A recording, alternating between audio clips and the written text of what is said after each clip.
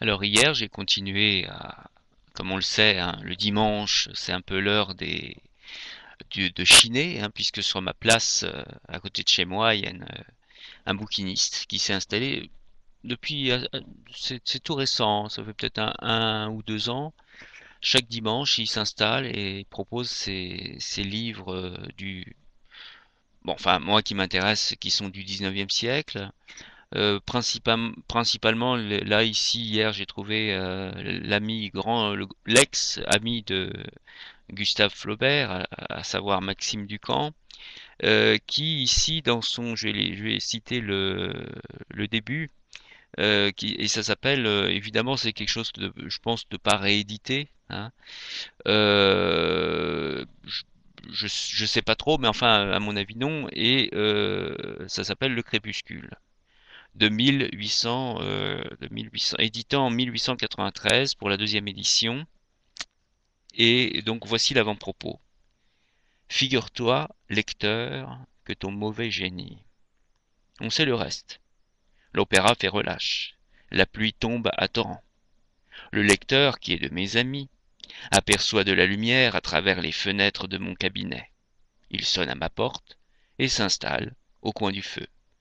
Je ne puis pour bien des motifs lui donner, comme Alfred de Musset, un spectacle dans un fauteuil, mais je peux causer avec lui en lui offrant une tasse de thé.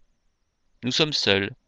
Et le Dieu, oh, nom de Dieu, qui n'a pour autel, chez moi, que la tablette de ma cheminée, ne nous dérangera pas.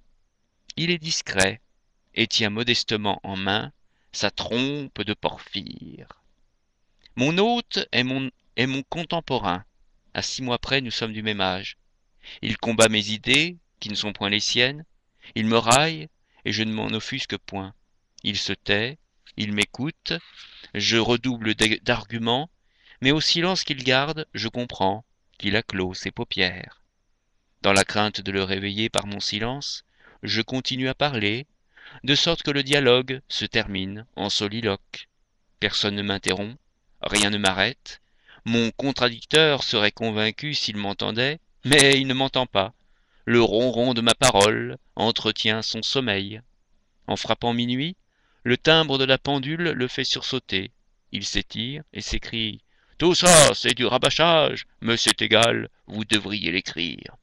C'est ce que je viens de faire, afin qu'il puisse lire ce que je lui ai dit pendant qu'il dormait.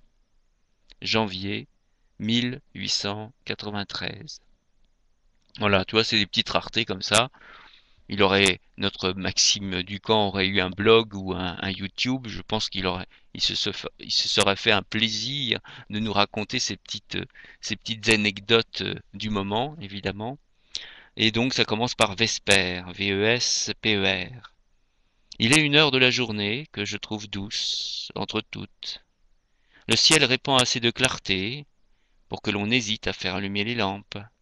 Et cependant le soleil, disparu à l'horizon, l'ombre qui déjà se fait pressentir, invite à cesser le travail. Le moment du repas n'est point venu, et il n'est pas temps de reprendre les occupations du soir. On se repose, en cette heure indécise, qui n'est plus le jour et qui n'est pas la nuit. Elle est propice aux rêveries sur soi-même, aux évocations des faits que l'on a vécus, des pensées qui ont agité l'âme, des aspirations qui ont gonflé le cœur, des amis qui nous ont précédés sur le chemin des existences futures. On se revoit tel que l'on était, on se voit tel que l'on est, et l'on a grand-peine à se reconnaître. Qui vive? Celui qui fut et qui n'est plus, celui qui est et qui s'étonne d'avoir été. Cette heure où tout se calme dans la nature, où le tumulte de l'esprit semble s'apaiser, c'est le crépuscule.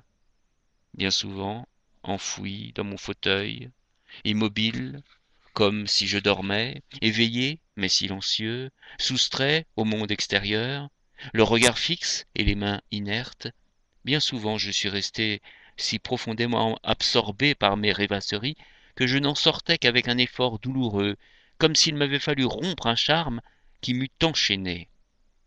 Que de chères voix parlent alors qu'elles sont harmonieuses malgré l'accent de tristesse dont elles sont voilées, qu'elles sont ingénieuses à faire vibrer l'écho du souvenir. Elles émeuvent, elles enchantent, on voudrait les écouter toujours. Elles ont la douceur des airs qui ont bercé le sommeil de notre petite enfance et que l'on ne peut entendre sans avoir les yeux humides. Cette heure de lumière douteuse, comme le dit si bien l'étymologie du mot qui chaque jour se reproduit, apparaît aussi et se prolonge, plus ou moins, au cours de l'existence.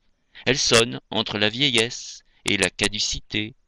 Elle conserve encore quelques reflets des lumières d'autrefois, mais elle annonce la nuit définitive que souvent elle précède de bien peu. Bientôt il conviendra d'allumer la dernière lampe, la petite lampe sépulcrale qui doit éclairer l'obscurité permanente, sans astre, sans aurore, et où peut-être elle s'éteindra.